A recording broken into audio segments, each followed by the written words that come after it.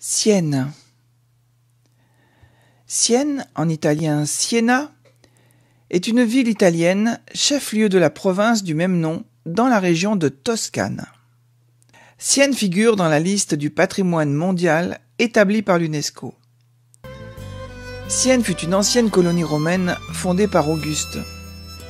Au 5e siècle, elle devint siège épiscopal.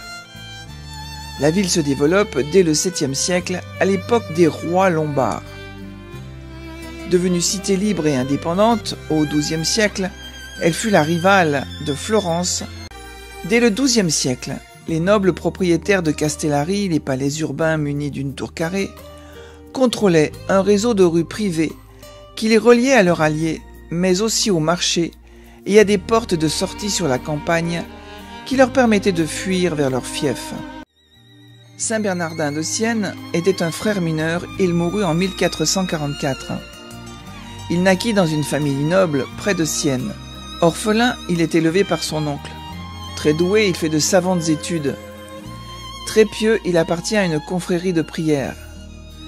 Sa charité trouve à s'exprimer pleinement au cours de l'épidémie de peste qui ravage la ville en 1400. Il a 20 ans et tel est son dévouement qu'on lui confie la direction provisoire de l'hôpital. Deux ans plus tard, il entre chez les franciscains, il devient prêtre et son prieur lui donne la charge de la prédication. Ce sera désormais sa vocation principale. Saint Bernardin parcourut toute l'Italie, prêchant sur les places publiques, car les églises sont trop petites. Il annonça l'évangile au peuple, diffusa la dévotion au saint nom de Jésus et poursuivit inlassablement sa mission de prédicateur avec de grands résultats jusqu'à son dernier jour dans les Abruzzes à L'Aquila en 1444.